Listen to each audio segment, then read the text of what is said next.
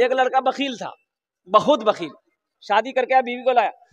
तो बीवी बोली पहले तो ई बता तोर नाम की जो? तो ये नौजवान बोला कि मोर नाम छे छेदी लाल। बोला तौबा तौबा ये तो कोई नाम छे?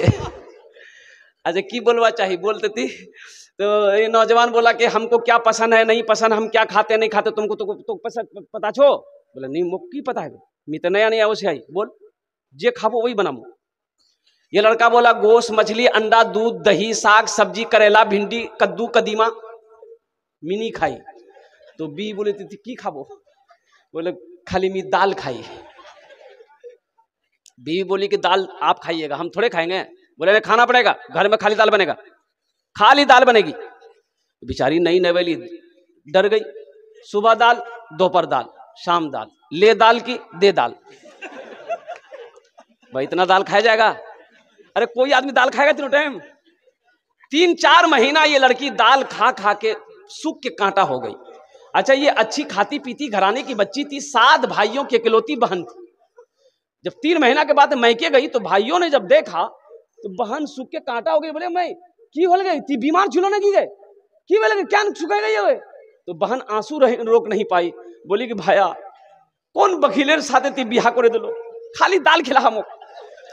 बोला अच्छा दाल खिला, गोश माछ? बोला, नहीं भैया, गोश माछ नहीं दो मौका बोला, चिंता मत करती, आँसू पोज वहाँ दाल हमरा निकले तुम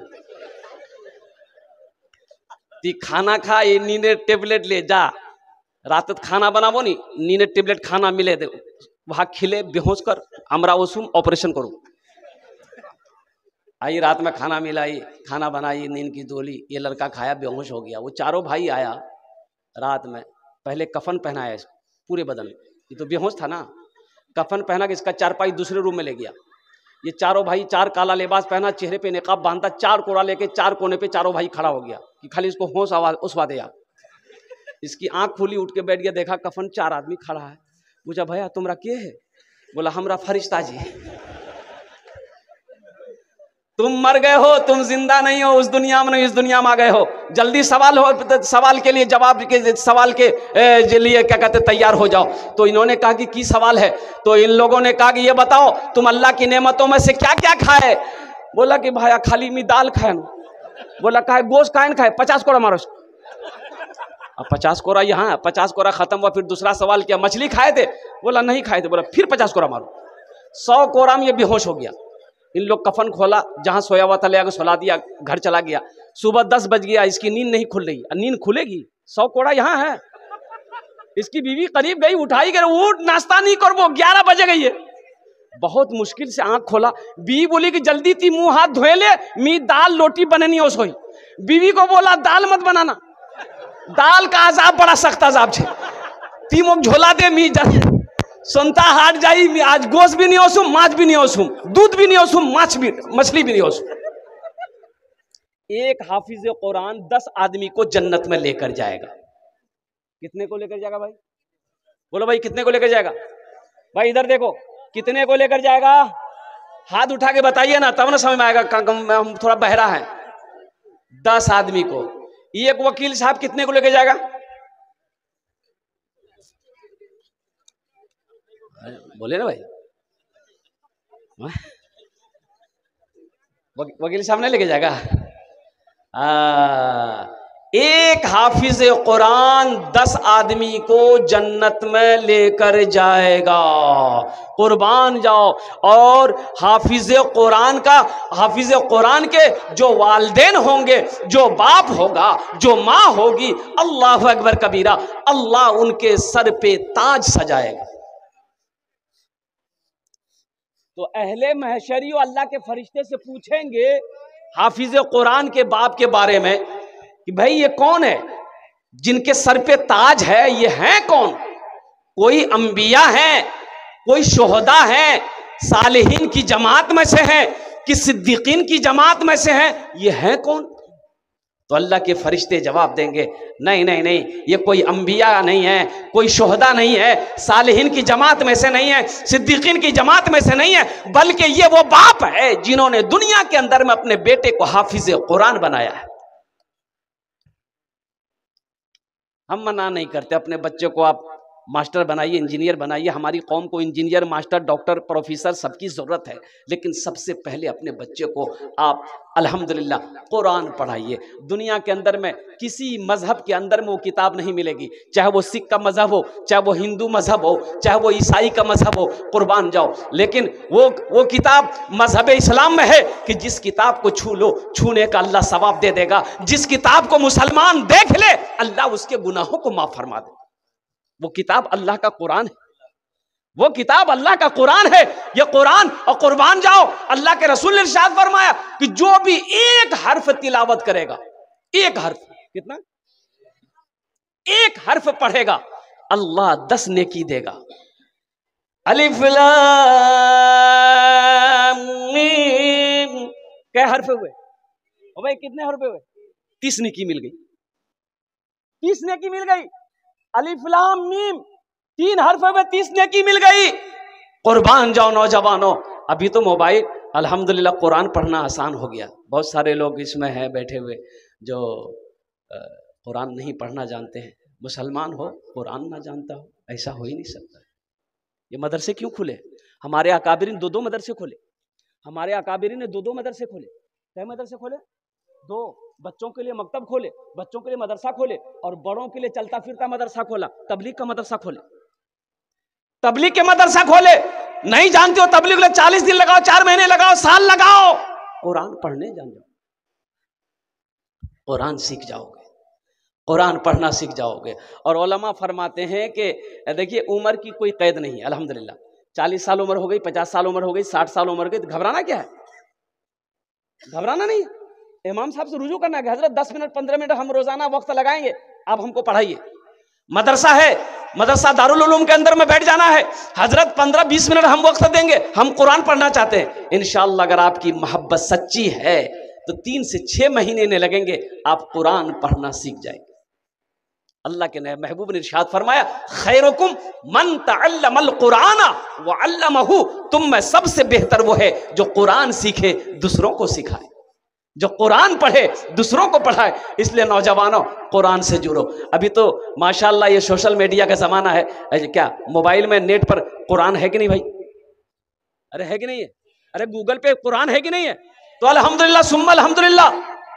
क्या तुम चलते फिरते कुरान की तिलावत नहीं कर सकते चलते फिरते कुरान की तिलावत करो। इसलिए नौजवानों तो बताया गया कि एक हाफिज कुरान दस आदमी को जन्नत में लेकर जाएगा। तो कौन कौन आदमी को जन्नत में लेकर जाएगा? जन्नती को जन्नत में लेकर जाएगा। अरे जन्नती को लेकर जाएगा? उन लोगों को जो जहन्नम में चला गया है। हाफिज कुरान अल्लाह के हुक्म से उसको निकालेगा और हाथों को पकड़ेगा। जन्नत के अंदर में दाखिल हो जाएगा। सुबह अल्लाह बोले तो। इसलिए इनका मकाम है मोज़ सामिन कराम नौजवानों, अपने बच्चों को, अपनी बेटियों को, अपनी बेटियों को हाफिज कुरान बनाओ। और ये मदरसे क्या है? ये मदरसे दीनी किले हैं। मौलाना वली रहमत एक उड़ीसा में एक जलसे में हम लोग थे। अल्हम्दुलिल्लाह, पचास हज़ार का मजमा था। तो मौलाना वली रहमत ने खान का मुंगेर ने उड़ीसा के मुसलमानों से खिताब किया था। ए उड़ीसा के गयूर मुसलमानों, हर घर में कम से कम एक हाफिज कुरान होना चाहिए। हर घर में एक हाफिज कुरान होना चाहिए, इसलिए कि जन्नत में ले जाने वाला कोई ना कोई तो होना चाहिए ना। अरे जन्नत में ले जाने वाला कोई ना तो होना चाहिए ना। अल्हम्दुलिल्लाह तो इंशाल्लाह जन्नत में जाएँगे भाई। अब भाई जाएँगे भाई इंशाल्लाह। हाथ उठाइए, कितने लोग तैयार हैं? हाँ बूढ़ा लोग नहीं जावे। तो बूढ़ा बूढ़ा बुढ़िया नहीं जावे। हाँ बूढ़ा जाएगा। लेकिन बूढ़ा बनकर नहीं, अल्लाह जवान बनाएगा। जवान बनाकर जन्नत के अंदर में दाखिल करेगा। सुबह अल्लाह बोले धमाशा अल्लाह हर बूढ़ा को जन्नत बनाए जवान बनाएगा। जवान बनाकर अल्लाह जन्नत के अंदर में दाखिल करेगा। तो नौजवानों, में कहना ये चाह रहा था कि एक हाफिज कुरान दस आदमी को जन्नत में जहन्नम से निकाल कर दाखिल करेगा। अल्लाह के हुक्म से ले जाएगा। और उनके माँ बाप के सर पे अल्लाह ताज सजाएगा। हज़रत मुआज बिन जबल रदी अल्लाह तजल कद्र साहबी हैं, वो फरमाते हैं कि अल्लाह के रसूल इरशाद फरमाया, मुआज, जानते हो, वो जो ताज पहनाया जाएगा हाफिज कुरान के माँ बाप के सर पे, उस ताज में कितनी रोशनी होगी? तो हज़रत मुआज ने कहा यार रसोल्ला मेरे माँ बाप पर कुर्बान, हमें मालूम नहीं है। तो अल्लाह के रसूल इरशाद फरमाया, ए मुआज, ओ सूरज सूरज की रोशनी, उस ताज की रोशनी के सामने में फीकी पड़ जाए अल्लाह के रसूल सल्लल्लाहु अलैहि वसल्लम ने हज़रत मुआज को कहा कि मुआज तुम्हें मैं यमन का हाकिम बना रहा हूँ। तुम यमन कल सुबह रवाना हो जाओ। हज़रत मुआज बिन जबल रज़ी अल्लाह पूरी रात तैयारी किए कि कल सुबह मुझे फजर के बाद यमन निकलना है। तो अब निकलने की तैयारी हो गई। अल्लाह के रसूल वसल्लम तशरीफ़ लाए। कहा कि मुआज, मुकम्मल सफ़र की तैयारी हो गई। कहा रसूल तैयार है हम। बोला, सवारी को बैठाओ। तो ऊँट को बैठने का हुक्म दिया। ऊँट बैठ गया। तो अल्लाह के नबी सल्लल्लाहु अलैहि वसल्लम ने रिशाद फरमाया, मुआज, ऊँट पर बैठ जाओ। तो हज़रत मुआज अल्लाह के रसूल के सल्लल्लाहु अलैहि वसल्लम के हुक्म के मुताबिक ऊँट पर बैठ गए, ऊँट खड़ा हुआ। तो अल्लाह के रसूल सल्लल्लाहु अलैहि वसल्लम ये ऊँट की रस्सी को पकड़े। आगे आगे चल रहे हैं हज़रत मुआज को समझा भी रहे हैं। तो हज़रत मुआज तड़प गए, लरस गए। कहते हैं, या रसूल अल्लाह ये बेदबी है। या हबीब अल्लाह मैं आपका गुलाम हूँ। आप मेरे आका हैं। आप पैदल चले, मैं ऊँट पर बैठा रहूँ। या रसूल अल्लाह ये बर्दाश्त नहीं हो तो अल्लाह के रसूल ने इरशाद फरमाया, ए मुआज, बैठा रहा। ए मुआज? भाई, बोलो भाई।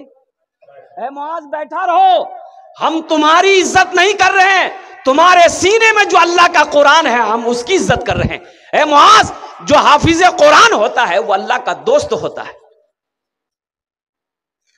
ये अल्लाह के दोस्त आपके सामने बैठे हुए हैं। तो मेरे भाई, इनसे दोस्ती करोगे? तो अल्लाह से दोस्ती होगी कि नहीं होगी? वही भाई कहे कहे। होगी नहीं होगी? इनसे मोहब्बत करेंगे अल्लाह से मोहब्बत होगी कि नहीं होगी? आलिमों से मोहब्बत करेंगे तो अल्लाह से मोहब्बत होगी कि नहीं होगी? तो इनशाला इनसे जुड़ेंगे मेरे भाई। कितने लोग तैयार हैं हाफिज कुरान आलिम दिन से मोहब्बत करने के लिए इनशाला अपने हाथों को उठाओ इनशाला चंद बात है मैं आपके सामने पेश करना चाहता हूँ। बहुत अल्हम्दुलिल्लाह सुम्मा अल्हम्दुलिल्लाह। बहुत सारे लोग सोचते होंगे आहा मोरो बेटा हाफिज कुरान होलतन तो मोरो सर पे ताज अल्लाह ताला सजाता क़यामत के दिन। लेकिन अब नहीं है वे क्या नहीं है वे बोले, मोर बेटा बोरो है गई है। बोरो है गई है, जवान है गई है, बिहा करे दोनों आर्नी है वे एक रास्ता छे एक अमल छे। इनशाला ओटा करवा सको मी बतामू तो इनशाला करबें एक अमल है, एक अमल छे। इनशाला ओटा अमल की। अल्हम्दुलिल्लाह, कुर्बान जाओ। अल्लाह के ख़जाने में किसी चीज़ की कमी नहीं है। इन अल्लाह अला कुल्ले शयीन कदीर। मेरा अल्लाह हर शे पे कादिर है। मेरा अल्लाह हर शे पे कादिर है। और एक बात याद रखिएगा बकील जन्नतो नहीं जावे। बकील जन्नतो बोलो ना। अच्छा बकील बकील जाने ना अपना रहा चार क्वालिटी है यार। क्या क्वालिटी दीजिए बोलूँ तो? गिनती कही है बकील कितना हुआ? कंजर, कंजूस, मक्खी चूस। एटा सबसे लास्ट क्वालिटी है। बखील जन्नतत तो नहीं जाबे। एटा आमी कोची ना, अल्लाह नबीर फरमाना छे। साहबी ने पूछा, या रसूल अल्लाह अगर वो नमाजी हो तो आमिना के लाल ने इरशाद फरमाया, जितना नमाज़ पढ़ना हो पढ़ ले। अगर वो बकील है, जन्नत में बोले ये दूसरे साहबी ने कहा, या रसूल अल्लाह अगर वो रोजा रखना रखने वाला हो तो अल्लाह के रसूल ने इरशाद फरमाया कि वो जाए जितना रोजा रखना हो, रख ले। अगर वो बकील है, जन्नत नी जावे। तो पता ये चला कि बकील अल्लाह से दूर, जन्नत से दूर, जहन्नम के करीब है। और जो सखी है, अल्लाह से करीब, जन्नत से करीब, जहन्नम से दूर है। अल्लाह सखी को दोस्त रखता है। मेरा अल्लाह सखी है। मेरा अल्लाह सखी है। सखावत करने वाले को पसंद करता है। सखावत किसे कहते हैं? अल्लाह के रास्ते में माल को खर्च करना, इसे सखावत करते हैं। कसरत के साथ खर्च करना, इसे क्या कहते हैं कि सखावत कहते हैं? इसलिए मेरे नौजवानों, मुसलमानों, अल्लाह ने दौलत दिया है, अल्लाह ने माल दिया है, अल्लाह ने सोना दिया है, अल्लाह ने चांदी दिया है तो मेरा अल्लाह कहता है कि लोगों, मैंने तुम्हें दौलत दिया है, तुम मेरे रास्ते में खर्च करते रहो, तुम खर्च करते रहोगे, हम तुम्हें देते रहेंगे, अगर तुम रोक लोगे तो हम भी रोक लेंगे। तो खर्च करने में फ़ायदा है कि रोकने में फ़ायदा है? अरे बोलो भाई। खर्च करने में फ़ायदा है। अल्हम्दुलिल्लाह सुम अल्हम्दुलिल्लाह। और एक बात और रखिए। जो देकर आया है, जो देने वाला है ना, वो देकर रहेगा। जो देकर आया है, जो देने वाला है, वो देकर रहेगा। और जो कभी नहीं दिया है, जो देने वाला नहीं है, ये तकरीर सुनाइए मत। तकरीर खिला करके उल्टा दिए उसको। एक टका नहीं देगा वो। भी दे देगा सहरा में जंगलों में, सहरा में जंगलों में, बयाबान में पढ़ो, मीनार गिर पड़े हैं तो मैदान में पढ़ो। ये बेखबर नजूमी तुम्हें क्या बताएँगे? है कल होने वाला क्या है? कल होने वाला क्या है? ये कुरान में पढ़ो कल होने वाला क्या है? ये कुरान में पढ़ो। कत जन लो दस दस अच्छा दस। हज़रत यूसुफ अलैहिस्सलाम के भाइयों की तादाद कितनी थी? ग्यारह। एक आदमी और। हाँ, इनशाला बस। डॉक्टर बदरू आलम पुनास। ए माशाला ये हमारे डॉक्टर बदरू आलम साहब बदर आलम साहब पुनास के रहने वाले हैं। बदरुल आलम। साहब माशा अलहमद बच्चे का खर्च उठाया। अल्लाह हमारे हज़रत डॉक्टर साहब के इस दान को कबूल करे ना। अल्लाह उनके उम्र में सेहत में ज़िंदगी में घर में बरकत दे। अल्लाह उनके वालदे को करबट करब जन्नतफरदोस माला मकाम अता फरमा दे। आमिर बोले अलहमदिल्ला कौतो जन हो लो। ए माशाला फरहान साहब ग्यारह हो इस्लामी महीने कितने हैं? बहादुरगंज। इंजीनियर फरहान साहब इंजीनियर फरहान साहब बहादुरगंज अल्हम्दुलिल्लाह। देखिए कितना दूर है बहादुरगंज। अल्हम्दुलिल्लाह हमारे इंजीनियर फरहान साहब के इस दान को कबूल करें अल्लाह उनकी उम्र में सेहत में ज़िंदगी में ईमान अमल में खेत खलियान में बरकत दे। अल्लाह उनके वालदेन को जन्नत में अल्लाह सला मकाम अता फरमा दे। बखील जन्नतोत।